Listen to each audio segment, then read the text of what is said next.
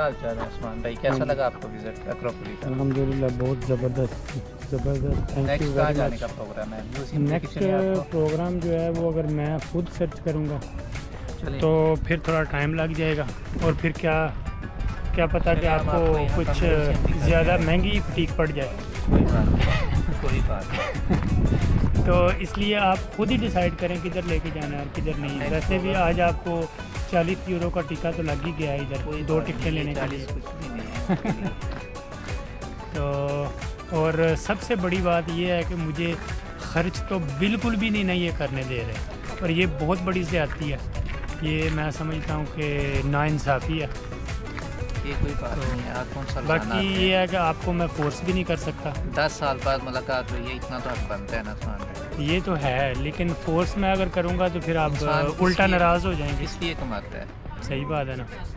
तो कौन सा रोज़ाना आज मेरा जी सेकंड डे है यहाँ पर और कल का दिन इधर हूँ कल का दिन भी सारा इंशाल्लाह घूमेंगे फिरेंगे।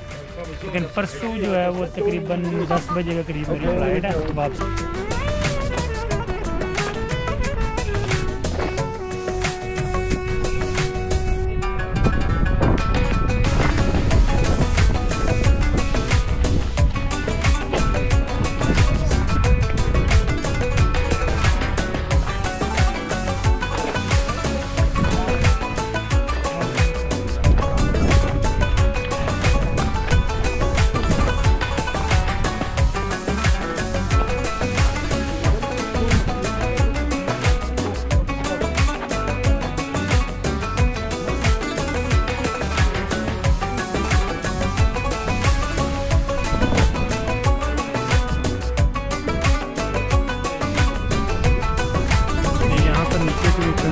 का काम उन्होंने शुरू किया हुआ है, ये जो कॉर्नर है इनको रिपेयर करने के लिए। या कोई ये वाटर सप्लाई का कुछ सिस्टम था टनल वगैरह नीचे के नीचे बने हुए हैं ये जो सुरंगें वगैरह।